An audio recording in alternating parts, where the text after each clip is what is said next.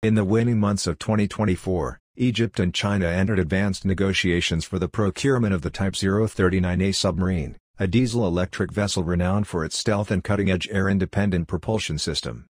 According to a report by Tactical Report, these talks, which also explore technology transfer and localization agreements, signal Egypt's ambition to bolster its naval capabilities with one of the world's most advanced conventional submarines. The Type 039A is the PLA Navy's first submarine equipped with an air-independent propulsion system, a technology that allows it to remain submerged for weeks without surfacing. This capability, combined with its low acoustic signature, makes the Type 039A one of the quietest diesel-electric submarines in operation, a critical advantage in evading enemy sonar.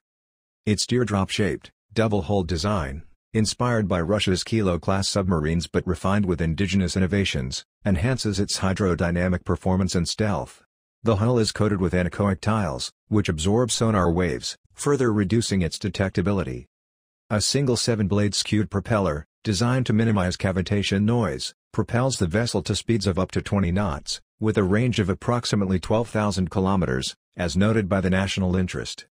Unlike traditional diesel-electric submarines, which must surface or use a snorkel to recharge batteries, AIP allows the Type 039A to operate underwater for extended periods, typically up to two weeks, without needing atmospheric oxygen. The Type 039A's armament is equally formidable, designed for versatility in both coastal and open ocean operations. Its six 533mm bow-mounted torpedo tubes can launch a range of weapons, including the Yu-6 wire-guided torpedo, a heavyweight weapon optimized for anti-submarine warfare with a range of up to 45 kilometers, and the Yu-4, a passive homing torpedo for surface targets. The submarine is also equipped to fire the YJ-18 anti-ship cruise missile, a supersonic weapon with a range exceeding 200 kilometers. Additionally, the Type 039A can deploy naval mines.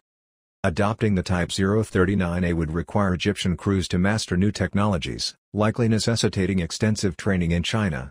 According to a March 2025 tactical report update, the negotiations include discussions on technology transfer, which could involve local assembly or maintenance of the submarines in Egypt, potentially at facilities under the Egyptian Ministry of Military Production.